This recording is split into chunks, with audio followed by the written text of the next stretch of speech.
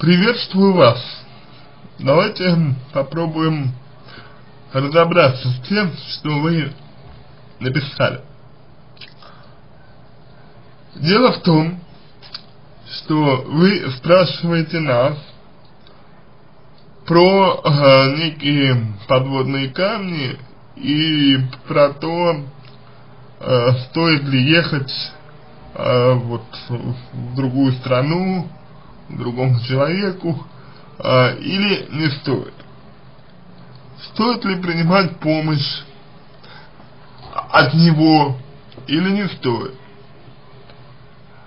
Понимаете, вопросы, вопросы э, такого плана, они являются довольно провокационными, я бы сказал так, потому что мы не можем э, за вас решать, ехать вам э, куда-либо или нет.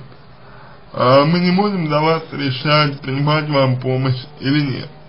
Что касается подводных камней, то ситуация здесь следующая, э, что многое, очень многое зависит, зависит от того, э, какова культура в этой стране, какие люди в этой стране. Потому что если мы говорим о, о, о жителях Вьетнама, о жителях Азии, то там все совсем по-другому. И в равной степени это может быть так, что мужчина вас покупает, и в равной степени это может быть так, что мужчина правда хочет вам помочь. Но, естественно, знать этого наверняка нельзя. Что я могу сказать? Поскольку он э, не готов с вами на отношения, но готов э, вам помогать, то думается мне, с точки зрения общей психологии, мужской психологии. А, думается мне, что он хочет вас просто, что называется, купить. То есть он хочет, чтобы вы были ему обязаны. он хочет, чтобы вы а, чувствовали, чувствовали, что должны ему. А, он хочет, чтобы вы видели э, необходимость э, как-то ему отплатить за то, что он для вас э, делает и так далее. То есть здесь ситуация такова, что есть вероятность, есть вероятность скоростного интереса мужчины. И она, эта вероятность, к сожалению, довольно большая. А, поскольку человека вы знаете не так давно, если честно, то вообще а, слабо знаете. Да, то, ну нельзя за такое, за такое маленькое время узнать, эм, узнать другого человека, это нереально. Вот. А, то есть риск, что он действительно вас использует. Ну, может использовать. И это, безусловно, создает для вас опасность.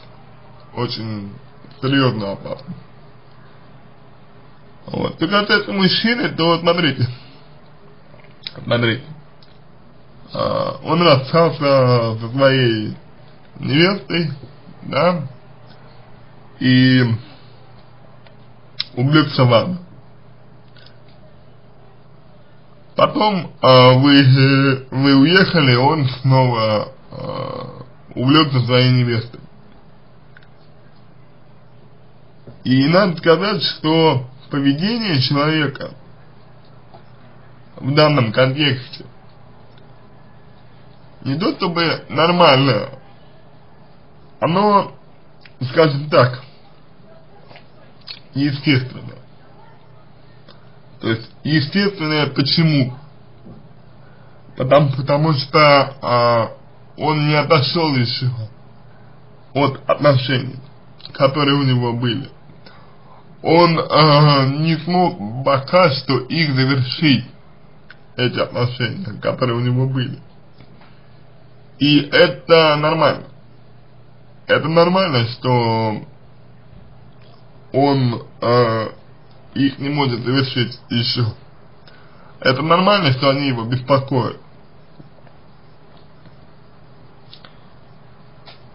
Но точно так же, э, когда вы приедете, мужчина может снова увлечься вами.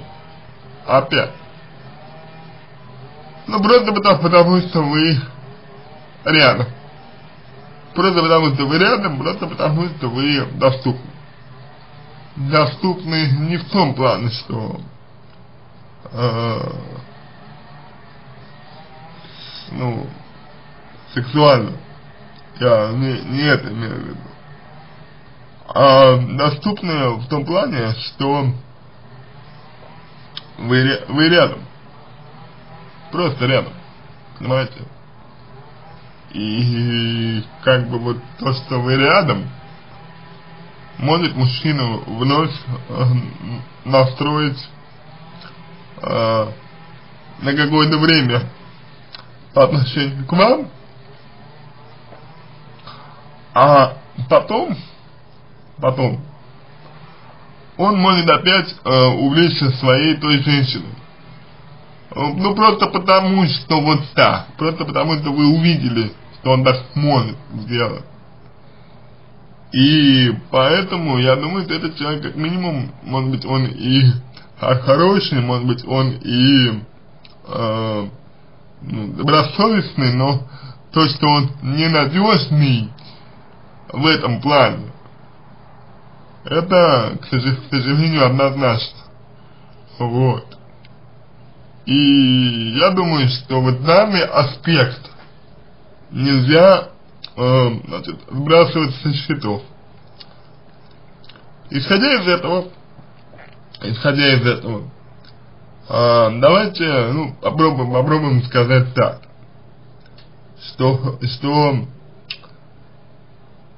если вы будете ему должны, а, ну, что-то, если вы будете ему что-то что должны, то, ну, скорее всего, скорее всего, мужчине будет а, легко а, как-то вот с вами сблизиться.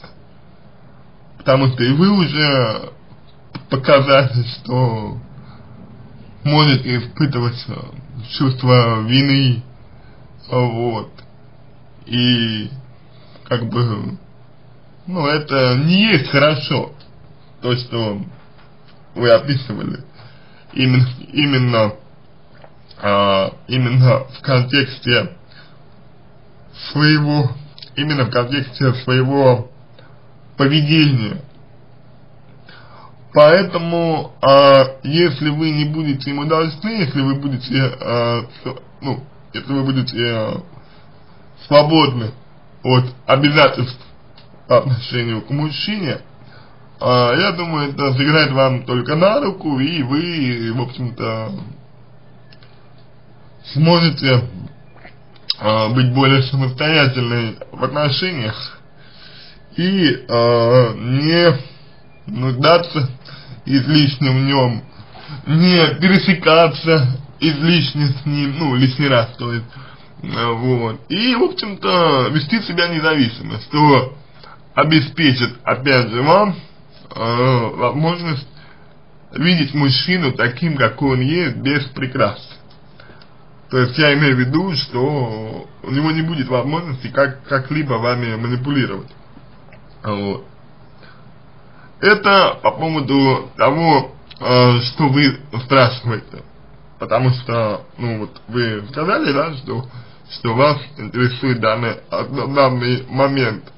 А я думаю, что вот так можно на этот вопрос ответить. Ну, вот, потому что, как бы, это наиболее э, безопасный вариант именно для вас, наиболее такой, такой оптимальный, оптимальный вариант, чтобы э, вы ничего э, не потеряли, вот.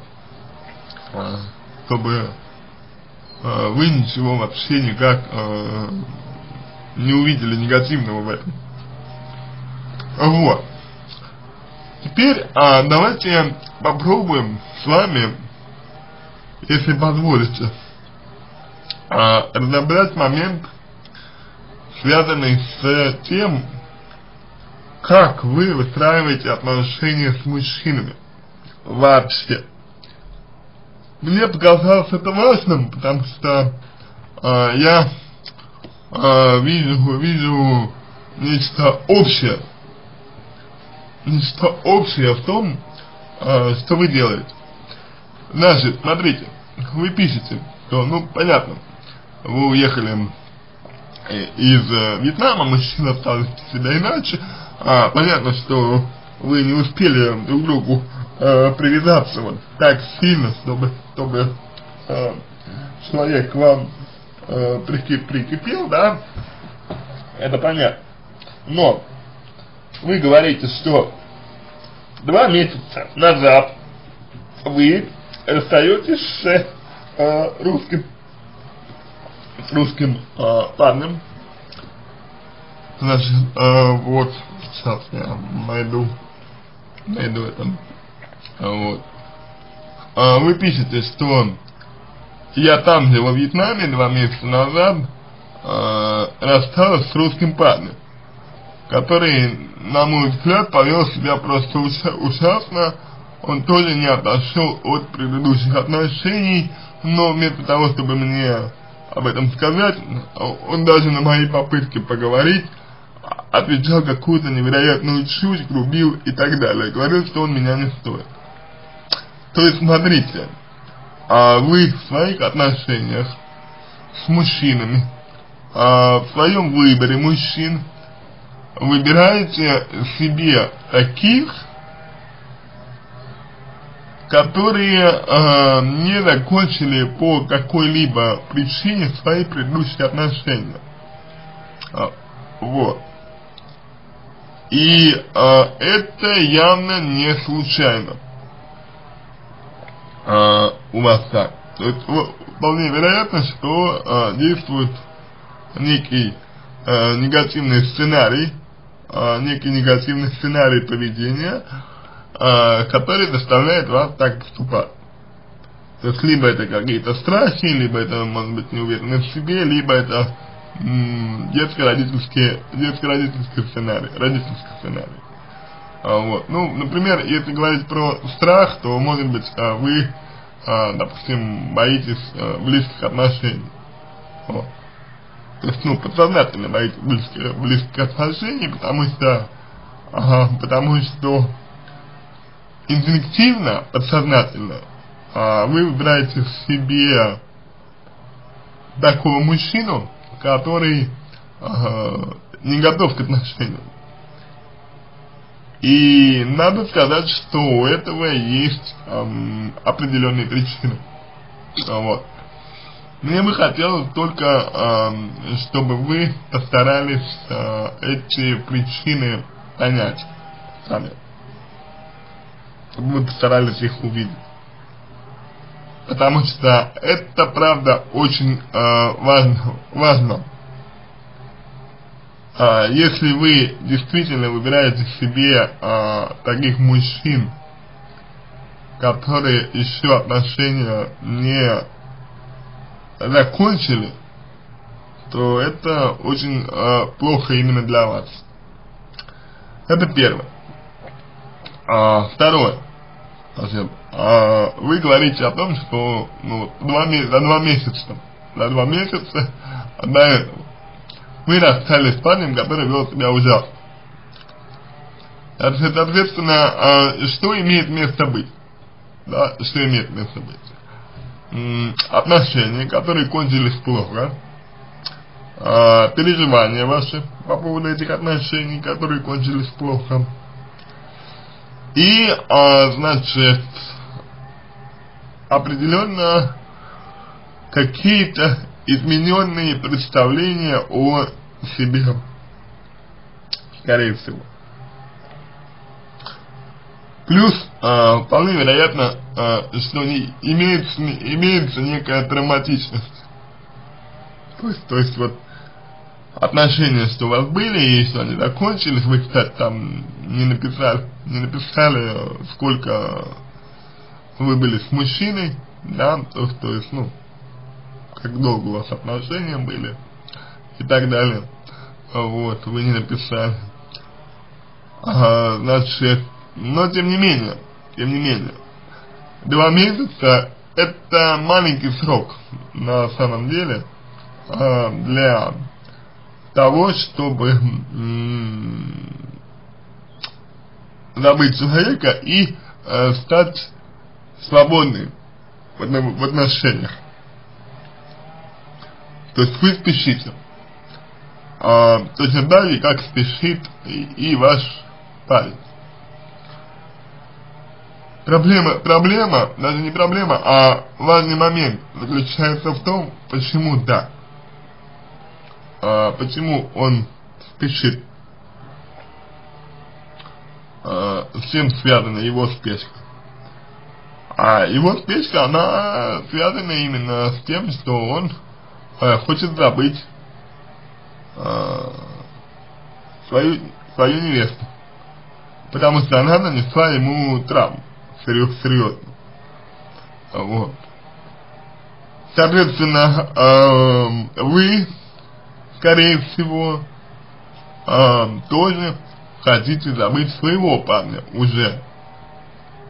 Опять же, я это не утверждаю, но э, очевидно, что вам тяжело далось расставание, хотя бы потому, потому что э, вы говорите, э, что он поступил ужасно. Вот. И это серьезно. Это правда серьезно, это серьезная проблема на самом деле. Вот. Так что здесь момент тоже, что вы отношения завершили, уже вступ, э, пытаетесь вступить в другие. Вот. Это неправильно. Вот нужно побыть одной, э, желательно какое-то время. Вот. Встречаться можно, да, безусловно, встречаться, там, может быть, даже сексом, э, заниматься, никаких проблем с этим нет. Но серьезные отношения, именно серьезные отношения, э, вы явно спешите строить. И это тоже вам идет на, э, во вред. То есть здесь нужно сперва закончить те, в любом случае. Далее, э, следующий момент. Это то, что вы проявляете инициативу к мужчинам. А, вот вы пишете, значит, так. Эм, так. Вот вы что значит, э, меня напрягало, что мой мужчина русский э, вел себя так, он, э, значит, вывел меня из себя э, постоянным нытьем, я чувствовал свою вину и просто на руках его носила. Э, это вот тоже э, показатель того, что вы позволяете брать э, на себя ответственность за то, э, за что вы ответственности в принципе не несете. То есть, э, вот вы, вы руководствуетесь в отношениях э, часто чувств, чувством вины. Чувство вины это недостаточно оформленные эм, личные границы ваши. И недостаточно э, недостаточно э, четкое понимание того, э, где, где ваша ответственность, а где ответственность, собственно, другого человека. Вот. Ну и то, что вы мужчину носите на руках, это это просто вот, э, ничего более деструктивного для отношений с мужчиной. Э, вы придумать на самом деле не могли, потому, потому что, э, ну да, вы можете, безусловно, э, его на руках носить, вот, но вы же понимаете, я надеюсь, что такой человек, он просто привыкнет к, вашей к вашей активности, а, вот, и в итоге он сам будет пассивным. Понимаете, а, понимаете, в чем дело-то, а, вот. И поэтому, ну, да, и сказать, что мужчина, он, ну, если вот он видит, что женщина сама э, как бы что-то делает, да, если он видит, что женщина э, сама что-то предпринимает, то мужчина думает, а зачем, зачем мне что-то делать? Зачем я буду что-то делать? А, для чего? То есть мужчина не будет что-то делать, если, э, если то, что есть, уже работает. Вот. Об этом вы, пожалуйста, не забывайте. Это очень, очень важный, очень важный момент на самом деле. А далее, значит, вы пишете, что а, возможно это моя ошибка, что от меня инициатива в какой-то э, в какой-то момент э, стала прих, э, приходить больше, и что я когда сразу так к нему э, расположилась и хвостом не вертела. Ну, насчет э, хвоста, это, пожалуй, оставлю без комментариев. Вот. Что касается э, того, что инициатива от вас больше исходила, да, много инициативы от вас исходит, очевидно, э, по отношению к мужчине, что э, его как раз таки эм, заставляет снижать свою инициативу. То есть мужчина проявляет инициативу только тогда, когда э, в этом нет необходимости. И когда э, женщина инициативу проявляет сама, э, мужчине, мужчина думает, соответственно, а зачем я буду это делать? А, зачем мне проявлять инициативу, а, если проявляет ее она? И, соответственно, а, такой женщиной мужчина, к сожалению, а, дорожит меньше. И это вам нужно, нужно а, помнить. Но, но, при этом есть э, другой важный, важный момент, а именно, что если вы проявляете инициативу, значит, э, вам это нужно, значит, э, вы делаете это, потому что у вас э, есть к этому потребность, то есть вы испытываете потребность проявлять инициативу к мужчине. Вопрос в том, почему. Из-за чего? Что заставляет вас проявлять к мужчине чрезмерное количество инициативы? И ответ на этот вопрос э, можно дать такой. Чрезмерное количество инициативы вы проявляете тол только потому, что э, у вас есть потребность или ряд потребностей, которые вы хотите удовлетворить через мужчину. Есть у вас сверхмотивация, сверх, сверх, сверх а, мотивация быть с ним. При этом а, обусловленные, обусловленные а, какими-то причинами, вашими я, опять же, не хотел бы гадать, какими причинами обусловлено чувство вины, но оно есть, и чувство вины это всегда э, некая такая общественная нас, настройка, то есть э, чувство вины это э, когда мы обесцениваем себя и, э, значит, идеализируем других.